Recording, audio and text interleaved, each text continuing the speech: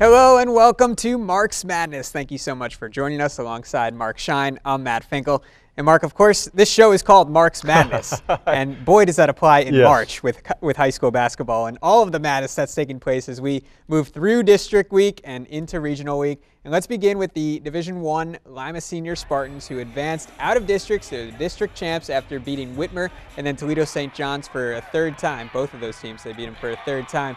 Points a little harder to come by in, in the district round. Well, they really have been for the Spartans, and I think for good reason because they've obviously shut their opponents down as well. But you're playing somebody for the third time. They know your offense, they know your tendencies, they know your players, and baskets were very hard to come by in both games. In that game against Little St. John's, they had good shots that just didn't go in for them, too. That was part of the problem, very low scoring game. But again, you, all you want to do is just win and keep moving. a one point victory over St. John's. They got off to a good start, and you're thinking maybe this is going to be a blowout for the Spartans, but no, defense. Yeah, absolutely. And, and coaches continue to remind their players, and it's especially true in the tournament.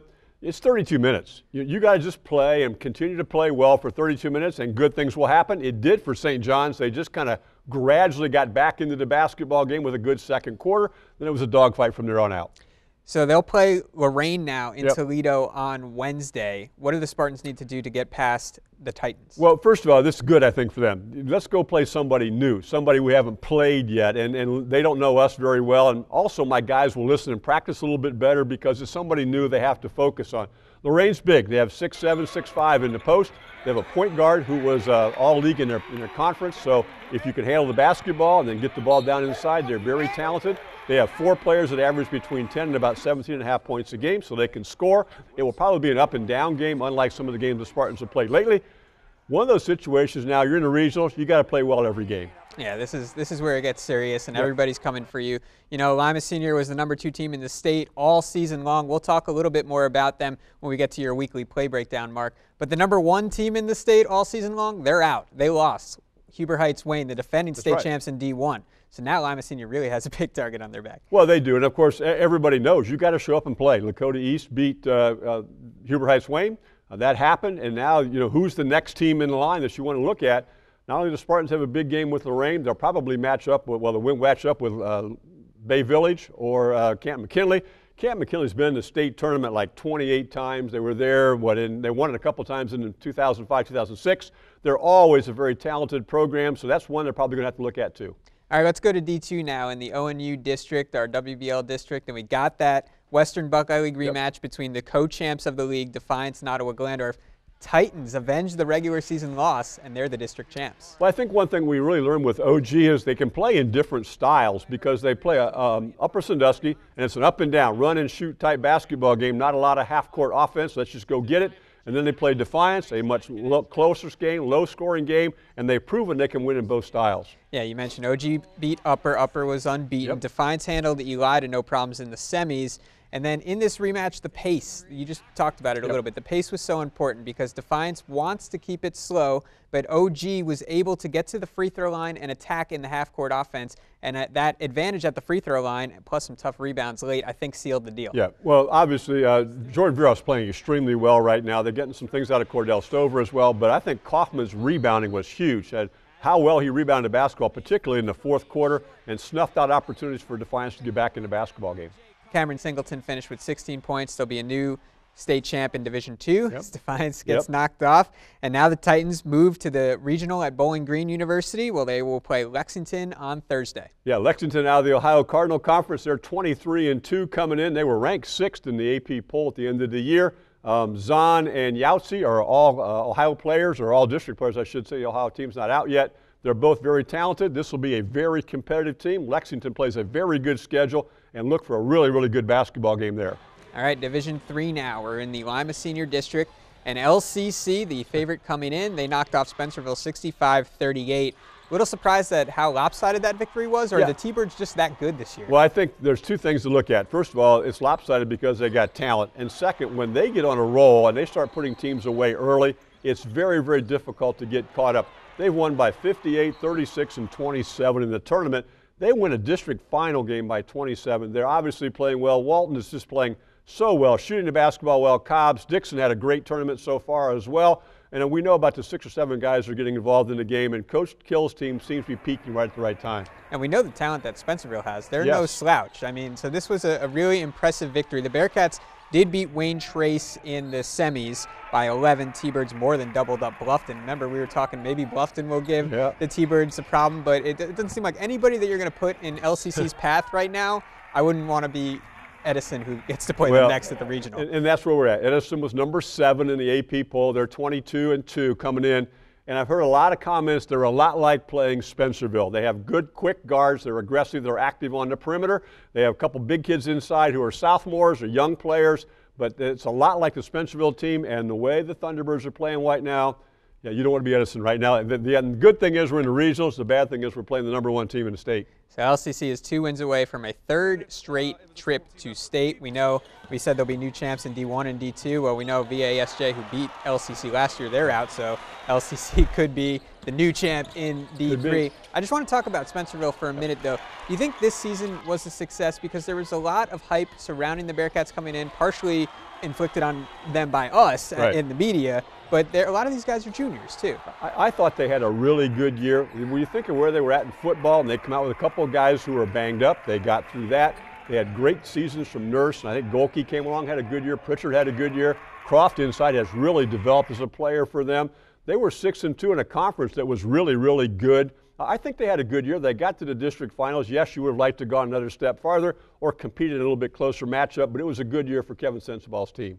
All right, staying in Division Three now. Let's talk about the Napoleon District, where Liberty Benton takes the district title. They beat Archbold by seven, 68-61. We thought we might get LB Van Buren in, Right. in the BVC district final, but the Knights lost to Archbold, and LB beat Tinora by two in the district semis. But how about the Eagles coming up with the district title and a good win over Archbold by seven? Really, we're playing well right now. They've won 13 out of their last 14 basketball games at Liberty Benton. Of course, they tied for the championship in the BVC. Kraft, of course, has played well all year long. Big guy inside. Master Lasco has played well, but really has stepped it up in the tournament. I think he had, what, 26 and 24 in the last two games. At 6'4 point guard, makes him hard to double because he can throw over traps. They are really playing good basketball right now for Ben Gurton. Master Lasco also had the game winner against Tinora in that 26 point performance. So now LB on the other side of that D3 Bowling Yep. Green Regional, they'll play Ottawa Hills in the late game Wednesday at Bowling Green. Well, they lost to Ottawa Hills right before they got on this really good roll. They lost to Ottawa Hills. The following week, they lost to Arlington, their only loss in conference play. And since that time, they've been on that 13 out of 14 run. I think LB is playing very well right now, and it would not surprise me at all to see a Liberty Benton LCC final game. Of course, LCC won that game in the regular season, too, but we'll see what happens on, on Saturday Yeah, night. that'd be great to have an all local Oh, regional be- final at Bowling Green. That'd be good. And you would bet the way Master Lasco is playing now, May shoots the ball well from the perimeter. We'll bet they can hang with LCC, but we'll have to wait and see if we can even get to that game. All right, we're on to Division Four now, and a third Lima team has won districts with Yep. Perry winning its first ever district title, defeating St. Henry in that district final at Wapak. Well, that was the question coming in, you know, and I know we all talked about Mac plays a more physical style of basketball and Perry is a finesse basketball team. How would they succeed against that? They come up with a three-point win over Fort Recovery, a nine-point win over St. Henry. They prove they can bang inside. They prove that they can attack a physical defense and defend themselves. They've had a good weekend, and now moving on. A lot of talk this year by us and, and pretty much everyone about Lima Senior and LCC, and well deserved for those two schools. Perry might have gotten overlooked in that shuffle because Agreed. what a season they've had, and to make history the way they did. And, and Matt Tabor was very emotional when Mark Kuntz did the interview with him post game that we aired on the Sports Report. It's worth taking a look back on our YouTube channel. This means a lot to that community. I would agree with that, and we're looking at slights because we were part of it. You know, we, we didn't hit Perry as much as we probably should have during the course of the season, but Jacoby Lane Harvey, come on now, he, he's only an honorable mention all district. He plays on a fine basketball team that had just three losses to teams who were in higher divisions. Yeah. He's a 20 point a game scorer. He can defend. He can rebound. He is very smooth with the basketball. For him to only be honorable mention all conference or all district, that was a real slight by the media. Well, maybe the Commodores can use that Yeah, slight by the. Yep. media in their regional semifinal, which will play on Tuesday against Yellow Springs down in Kettering. You like the Commodores' chances? We don't know much about Yellow Springs. What we know about Yellow Spring is this could well be a track meet. This will be two teams that really like to get up and down the floor, really like to score points. I would look for it to be a very fast-paced, up-tempo game, and I think the Commodores are in pretty good shape going into this one, even though they are juniors and in this experience for the first time. And I know I talked the other day with Matt Childers and Vince Coes a little bit. It could well be good for Perry that they play on Tuesday night because you know you just finish up. If you have all week to think about what we've done and all these things we've accomplished if you don't play until Wednesday or Thursday sometimes it gets into your head a little bit to get right back on the floor go to practice Sunday Monday get out there and play again early in the week. I think that's really good for the Commodores. Yeah we'll see how it plays out for them on Tuesday night but I agree with you there. Get them out there get moving quickly Elsewhere in Division 4 in the Dayton 2 district, Fort Loramie falls to Southeastern in overtime. So a good season for the Redskins yep. comes to an end. They were lost in what, overtime I think it was? Yeah. 79 71 in overtime. Good for them. South Charleston Southeastern, that's one of those teams you kind of pencil into that regional or at least in the district final bracket every year. They're going to get Jackson Center now, and that's kind of the complete opposite of Perry. They want to hold the game into the 40s, perhaps 50 points, and be very slow and methodical and patient. It's worked well for Coach Uckert so far. Yeah, let's talk about Jackson Center. They're the D Dayton 3 district champions after beating Fairfield Cincinnati Christian. And Tigers also beat Fairlawn by two in a tight district semifinal. So well represented the Shelby County League at this stage, right. and Jackson Center continues to power on to regionals. Well, you mentioned that Fairlawn game. That's a 42-40. Again, that's a team you played twice in the regular season because we're in the same conference. But I liked what Jackson Center has done defensively in the tournament. They've given up 23, 31, 40, and 43 in the tournament. And obviously part of that is taking care of the basketball, not taking bad shots, not being in a hurry offensively. And then you add to that the fact that they're very solid on the defensive end and they rebound the basketball. So Jackson Center is on the other side of that Kettering Regional, and you said yeah. they'll play Southeastern. If we had Jackson Center Perry, those are two opposite styles. what do you think would happen? Well, th that's one of those who's who can willpower the game to go the way they want it to. And you know, I'm an old guy, Matt. I remember the old turntables, you know, with the 33 and a third and 45 and 78, and there's only a few people in our audience even know what that means. Yes. but every record played better at different speed, uh-huh. and that's how these two teams are. They play better at different speeds, and they'll see which one comes out to win that one. Great analogy. Great it'd, analogy. it'd be great if we get to that. Yeah.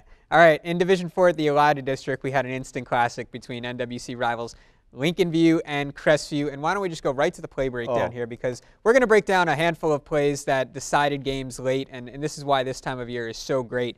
But for Lincoln View and Crestview, this game came down to the wire, and check out this game winner. Well, you're right. First of all, I told Mark Kuntz when we talked about, or I told Mark uh, Miller, Mark Kuntz is going to put this right away on his instant classic games in about Throwback 10 years. 44 for sure. Throwback 44. Here you can see Leith goes to the basket. Here's another view at it. I'm calling this game. I said he's going to take it up left-handed. Instead, he throws it up right-handed with English on it, kisses it off the board. They were down one at that time. And here he comes again with this. And I'll say one more thing. Mark Miller interviewed him after the game. This is a well-spoken, articulate young man who should really be proud and represents Lincoln View community very well. But that's a great shot right there. So the Lancers beat the Knights. Now let's yep. go to the girls' regional final up at Ontario. OG and Toledo Rogers, and that's the game winner for Danny Auerbach. How about that? OG playing that, that favorite from Rogers it seems everybody runs into. Look how far she covers so much ground from outside the arc, two, two steps, and gets that soft one to go, and the celebration by her and her teammates. Congratulations to the OG Lady Titans, and unfortunately, they have to play at about the same time their brothers. Yeah, that's going to be an interesting. Yeah. Well, you can watch both of those games on WOSN. But let's close out here with Lima Senior and their defense. Late in the game, it was stifling. It really was. And, and just watch how they've got everybody covered up. Um, there's no open areas to go. You see the front down inside, and there's just no place to take the ball. Then a great move by Ruben Flowers to step out right here and force a trap. But not only the fact that Ruben's able to do that, but let's look at what happens on the other side as well. X is going to come off this screen right here and nail a three. They were up one at the time or down one at the time. And of course, um, X had not made a three point field goal in the tournament yet. This was his fourth consecutive game without making a three. He makes that's a huge basket for them. Then Wilson makes a couple of free throws late that helped seal the game, and, and it was a really good win for the Spartans. A late game situation so crucial this time of year. So Lincoln View beats Crestview, and Crestview, what a performance by Connor Lotzenizer, 36 oh. for the senior, and he was just unconscious, honestly, from behind the arc. He really was. He had 25 in the second half, Matt, and when you look at that, you go, well, okay, he's got 36. He must have jacked up 100 shots. He was 10 of 18 from the floor, including 6 of 11 from outside the arc. He carried his team to the very end of the basketball game. He's had an outstanding career, and I know Trent Zimmerman is Player of the Year in, in Northwest District from Sandusky St. Mary's. He must really be good because, in my mind, there's not a better D4 player in Northwest Ohio than Connor Lotzenizer. And if you came out to Elida at any point during that district tournament, you got your money's worth because the semifinals were great with Crestview over Leipsic and then Lincoln View over Miller City. And then, like we said, that instant classic in the district final. Now, Lincoln View moves on to the BG Regional. They'll play Fayette on Tuesday. Fayette coming off a win over Ayersville in a somewhat controversial game because yep. uh, there was a buzzer beater for Ayersville, which didn't count. Photos and video of, you know, well, cell phone videos have shown that the ball was out of his hands. We can't do anything about that. The ref call here, has to stand. Here, here's what we, we forget about that, and that is the officials are told to have a clock inside their head. The clock did not start on time, and the officials There's always knew, human error, right? That's right. The, the, the, officials knew if the clock would have started on time, the basket would not have counted. So all those videos with ball in hand and all that kind of stuff, eliminate that. The clock didn't start as it should have, and the officials were absolutely correct in their call. You like the Lancers' chances in the regional semis? Well, now they're in something completely different. Fayette's one of those teams that likes to beat you, you know, 30 to 25. They're very huge inside, great size. They will just pound the basketball and wait, wait, and wait till they can throw the ball down inside. So again, one of those questions with a, just a one-loss team in Fayette, can Lincoln View defend well enough and then score enough at the other end to force the pace? All right, let's finish up in Division Four with the Liberty Benton District, where McComb is the district champs. Did you see this one Not coming? How about the Panthers? Who would have seen that? They lost their last three regular season games. They lost nine of the last 12 games. And I know there was an article where Coach Ladd just got his guys together and said, okay, here are our goals for the tournament. Let's get going. And they have done that. But who would think the team who was 11 and 10 was going to go out and win three games in the tournament and get a couple upsets in there? Now they get to play the perennial power Mansfield St. Pete. Yeah, they'll play them Tuesday at 8 p.m. at Bowling Green. Coming off the win by 12 over top seeded New Riegel, They haven't been to regionals since 2010, 2011, so this is new for everybody, including the head coach. It is, and Kazmarek is the guy who's really carried them. He's had a great tournament so far, and obviously a lot of other guys are playing well too, but he's scoring a lot of points for them. Now we'll see what, how they can play with Mansfield St. Pete. All right, let's get to our rebroadcast schedule. Almost every game we talked about will be on WOSN or WTLW in some capacity this weekend, and it all begins Tuesday at 10:30 with Mansfield St. Peter's versus McComb D4 regional semi at Bowling Green. That one will be on WOSN. Tuesday at 10:30 on WTLW. Lincoln View versus Fayette, the other D4 regional semi at Bowling Green. Wednesday at 8:30, Perry and Yellow Springs, D4 regional semifinal at Kettering. Wednesday at 10 p.m. WTLW. Lima Senior versus Lorain, the D1 regional semi at Toledo. Mark Shine will be on the call for that with Mark Kuntz. Wednesday at 10, D3 regional semi at Bowling Green. Wednesday at 11:30. LB versus Ottawa Hills, the other D3 regional semi at Bowling Green. Thursday at 10, Lexington versus Ottawa Glandorf, the D2 regional semi at Bowling Green. And then Friday at 4.30 and 8.30, we'll have the Ottawa Glandorf versus the Hathaway Brown girls in the D2 state semis. You mentioned it. I know that the boys and girls are playing within a couple of right. hours of each other on right. Thursday, one at Bowling Green, one at Columbus. So if you have to pick a game to go to in the Ottawa community, come home and watch the other one on WOSN. Right. And then depending on the results in the regionals, we will have the D1, the D2, the D3, and both D4 regional finals from Kettering and Bowling Green on the West Ohio Sports Network, depending on, on these results, and we'll get you that schedule later in the week. So be sure to check the website, WOSN.tv. That does it for this week's Marks Madness. Thanks as always yep. to Mark Shine for all the hard work you put in for this show, and, and we will see you next week. Enjoy the games.